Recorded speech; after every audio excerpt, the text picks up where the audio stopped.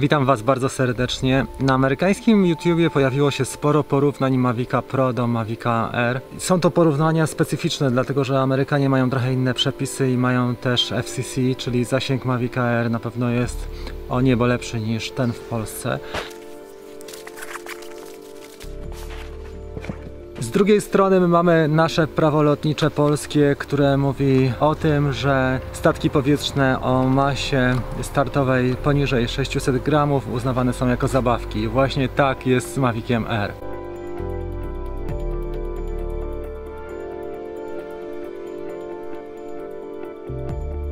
Dzisiaj spróbuję porównać oba modele. Nie jest to porównanie łatwe, dlatego że jest to porównanie dość subiektywne. W zależności od Waszych potrzeb i też ulubionych czynności i aktywności można wybrać zarówno jednego, jak i drugiego drona, bo one są naprawdę świetne.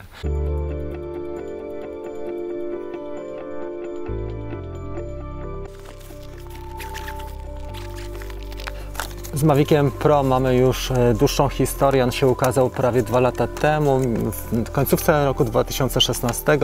Była to fantastyczna, fenomenalna konstrukcja na owe czasy. Pierwszy rozkładany dron mm, DJI, mały, ale wielki dron, który zrewolucjonizował świat dronów i sprawił, że wiele osób zaczęło się tym interesować. Jeżeli chodzi o Mavica R wszedł on jako wersja bardziej lightowa Mavica Pro, jak widać jest dużo mniejszy, ale też ma w sobie kilka cech, których już nie znajdziemy w Mavicu Pro. Porównując te dwa drony, trzeba wyróżnić kilka kategorii, które są bardzo istotne do, dla eksploatacji. Teraz właśnie o tych kategoriach powiem. Podstawowa sprawa, jeżeli chodzi o rozróżnienie tych dwóch dronów, to jest ich e, masa. W Polsce Mavic Pro e, już podlega pod e, prawo lotnicze powyżej 600 gram. Mavic Air e, 430 gram masa startowa, czyli jest traktowany przez prawo polskie jako zabawka. To jest bardzo istotne, jeżeli nie chcemy robić kursu i chcemy latać tylko rekreacyjnie, wtedy możemy Maviciem Air latać w miastach. Jest to bardzo ważne właśnie, e, jeżeli chodzi o Polskę. Druga rzecz istotna to jest zasięg. Wiele osób narzeka na zasięg Mavica Air. Mnie udało się przelecieć nim najwięcej w terenie otwartym 1100 metrów. Maviciem Pro 6900, także widać, że OcuSync zdecydowanie e, góruje nad Wi-Fi.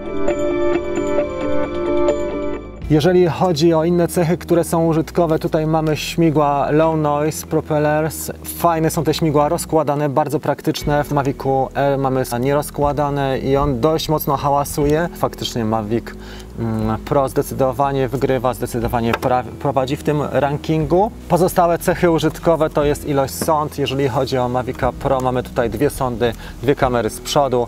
W Mavicu Air też mamy dwie kamery z przodu. Pod e, dronem jest podobna sytuacja, analogicznie mamy e, po dwie kamery i dwa czujniki. Tutaj mamy trochę inne czujniki, bo są podczerwień, tutaj mamy czujniki ultradźwiękowe. Z tyłu Mavic Pro nie ma żadnego czujnika, natomiast Mavic Air ma dwa czujniki. To, co wspominałem już wcześniej, te śmigła trochę zahaczają przy pakowaniu drona i przy wyciąganiu go z kieszeni. W Mavicu Pro jest to lepiej rozwiązane. Mamy tutaj śmigła składane i one pięknie się układają nam w korpusie samego drona. Jeden i drugi e, dron ma osłonę kamery i blokadę gimbala, natomiast w Mavicu Air mamy trochę inną konstrukcję. Mamy wysuwaną w jednym elemencie e, osłonę sam system gimbala zdecydowanie lepszy jest w Mavicu Air. Mavic Pro ma gimbala, który się mocno trzęsie i nie jest to na dłuższą metę praktyczne. Trzeba go osłaniać, trzeba stosować tą dodatkową blokadę. I jest też ten system bardziej podatny na uszkodzenia i na awarie. Następna rzecz, która jest bardzo istotna, to jest długość ramion i ich gabaryt i ich moc. Widać, że Mavicu Pro ramiona są długie i bardziej podatne na uszkodzenia przy, e, przy kraksach. Jeżeli chodzi o Mavica R, mamy te ramiona bardzo krótkie i świetnie się układają. Naprawdę fantastycznie ten dron jest zaprojektowany, jest bardzo mocny. Nawet kiedy uderzy, to mamy od razu tendencję do złożenia e, ramienia. Ramię ma 3-4 cm. W przypadku Mavica Pro to jest kilkanaście centymetrów, także widać, że to jest duża różnica. Pięknie zaprojektowany Mavic Air, otwory, otwory wentylacyjne tutaj z tyłu przypominają samochód sportowy, dwa, dwie sondy przypominają wydechy.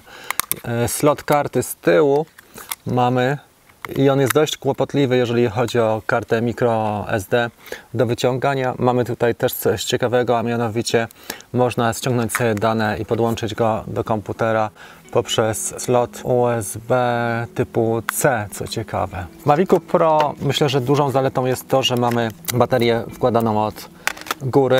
Włączenie drona też następuje od góry. W Mavicu R włączenie i ładowanie od dołu, czyli trzeba najpierw go włączyć w ten sposób i dopiero przekręcić cały dron do właściwej pozycji. Piękny design, piękne światła, fantastycznie rusza, dlatego że najpierw delikatnie odpala mm, silniki, później dopiero mocniej. Co do czasu lotu. Mavic Pro w wersji podstawowej około 27 minut, takie są wskazania e, przez producenta. E, Platinum nawet do 30 minut. Ja tak mogę powiedzieć, że na podstawie doświadczeń około 25 minut na pewno można osiągnąć i to jest realna wartość.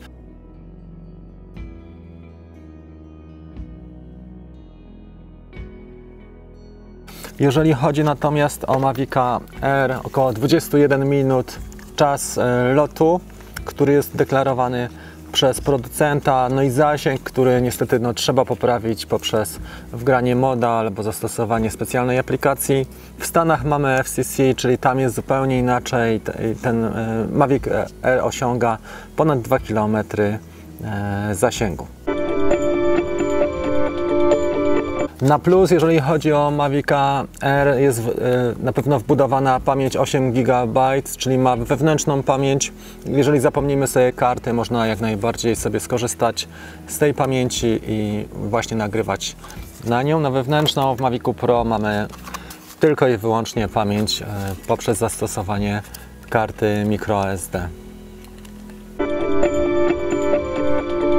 I jeszcze jest jedna cecha, którą zauważyłem, że bardzo przyciąga ptaki. Wczoraj jak latałem to około 50 jaskółek go otaczało. Nic na razie się nie działo szczególnego, nie było kolizji do tej pory. Także pewnie warto sobie go ubezpieczyć i wykupić DJI Care. Jeżeli chodzi o maksymalne prędkości, jakie możemy osiągnąć tymi dwoma dronami, jeden i drugi osiąga prędkość około 70 km na godzinę w trybie sportowym. Mavic Pro może być trochę szybszy, o jakieś 2-3 km. Deklaruje się 71, tutaj około 60 w Mavicu R 68 km na godzinę.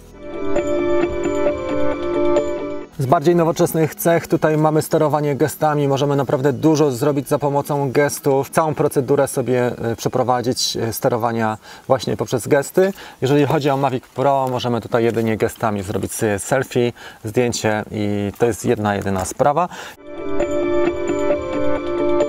Jeżeli chodzi o autonomiczne tryby lotów, tutaj mamy bardziej pod social media w e, Mavicu Air, czyli mamy rozbudowany quick shots o asteroid, fantastyczny efekt i o e, boomerang.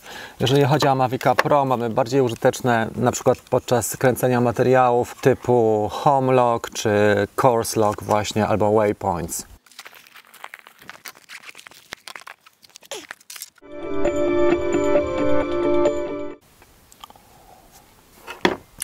Porównując te dwa drony, warto też powiedzieć o kontrolerach. Mavic Pro ma naprawdę fantastyczny kontroler. Jako jedyny mm, z gamy produktów DJI, tych amatorskich, ma e, kontroler z wyświetlaczem, gdzie wszystkie parametry są pokazane, łącznie z tym, że nagrywa nam się obraz. Są też parametry ekspozycji i to jest fantastyczne w przypadku, kiedy wysiądzie nam telefon komórkowy, jesteśmy zdani tylko i wyłącznie na kontroler, jak najbardziej można przeprowadzić taki lot w sposób udany i kapitalny. Jeżeli chodzi o kontroler do Mavica R, niestety nie mamy tutaj wyświetlacza, mamy przeniesione nieco klawisze klawisz włączenia, e, przełączenia na tryb sportowy w Mavicu Pro jest z boku, tutaj jest na środku. To jest to, mamy klawisz e, funkcyjny, który możemy sobie zdefiniować. Tutaj jest drugi klawisz funkcyjny. W Mavicu Pro mamy T1, e, C1 i C2. Dodatkowo mamy mm, jeszcze tutaj klawisz 5D. E, Ten joystick dodatkowy 5D i mamy potencjometr shutter speed, czyli ustawienie czasu ekspozycji, regulacja gimbala w obu przypadkach jest w tym samym miejscu, nagrywanie i e, migawka e, co do robienia zdjęć. Migawka jest też w tym samym e, miejscu. Mavic Air wyróżnia natomiast to, że ma drążki samego kontrolera dokręcane i chowane tutaj w obudowie. Fantastyczna sprawa. W Mavicu Pro niestety nie możemy tych drążków demontować. Tak wyglądają te dwa kontrolery z tyłu. e, Także Mavic Pro zdecydowanie tutaj na plus, jeżeli chodzi o e, kontroler. Którego drona zatem kupić? Jeżeli chodzi o cenę, ceny obecnie są dość zbliżone. Można w okolicach 3000 kupić wersję podstawową, jak się dobrze pokręcicie, albo nową, albo prawie nową. Wersję combo, jeżeli też dobrze poszukacie i zasięgniecie języka w okolicach 3500. Ja kupiłem tego Mavic Air niedawno za 2800, całkiem nowego. Mm, Akurat tak się zdarzyło, a nie inaczej. Mavica Pro kupiłem za 5000 i to było dwa lata temu, także widać, że ta różnica jest jednak dość spora i drony, drony z czasem tanieją. Co możemy powiedzieć? Jeden i drugi dron są zbliżone do ideału. Jednemu i drugiemu czegoś brakuje. Mm, W tym przypadku, jeżeli chodzi o Mavica R, ja bym powiedział, że brakuje mu lepszego zasięgu na pewno i tego, żeby y, śmigła były składane i bardziej praktyczne. Mógłby być trochę cichszy, a tak poza tym jest naprawdę świetnym dronem. Szczególnie świetnym dronem jest y, według prawa polskiego i właśnie do lotów na terenie Polski. Poza tym dużo łatwiej się go transportuje, jest lekki, poręczny. Naprawdę bardzo praktyczny jest ten dron. Jak najbardziej na tak. Jeżeli chodzi o Mavica Pro, na pewno zasięg go wyróżnia, jakość kontrolera i szereg cech, które są już bardziej profesjonalne, typu właśnie tryby Waypoints czy, czy Course Lock. Tak czy inaczej, którego drona nie wybierzecie, powinniście być zadowoleni. Ja jestem lekko zorientowany w tej chwili na tego malucha, ze względu na to, że akurat szereg prac wykonywałem w centrach miast i ten maluch jak najbardziej podchodzi pod latanie w mieście. Bardzo ważną, istotną sprawą jest jakość obrazu. Mavic Air wprowadza nam większy bitrate. Mamy tutaj 100 megabitów na sekundę, w przypadku Mavica Pro tylko 60 megabitów na sekundę, także jakość powinna być dużo lepsza. Jeżeli byście to porównali ze Sparkiem, Spark miał 24, czyli jest tutaj naprawdę duży progres. I ja myślę, że dla, że dla wielu klientów, jeżeli to są zastosowania półzawodowe, to naprawdę nie będzie odczuwalne, z czego robiliśmy e, te ujęcia. Także tyle, jeżeli chodzi o porównanie tych dwóch dronów. Jeden i drugi jest wart uwagi, jak najbardziej polecam. Przy okazji ze swojej strony polecam też swój autorski kurs Lataj pewnie i bezpiecznie dronem od DJI. Jest on w dobrej cenie i cały czas cieszy się dobrym powodzeniem i dobrymi opiniami, także jestem z tego bardzo dumny i zadowolony. To był mój autorski pomysł i jak najbardziej polecam Wam. Będzie z czasem rozbudowywany o więcej materiałów dotyczących Mavica R, którego specjalnie też kupiłem na potrzeby tego kursu i kolejnych. Póki co, dzięki za uwagę i do zobaczenia w kolejnym epizodzie. Trzymajcie się, cześć.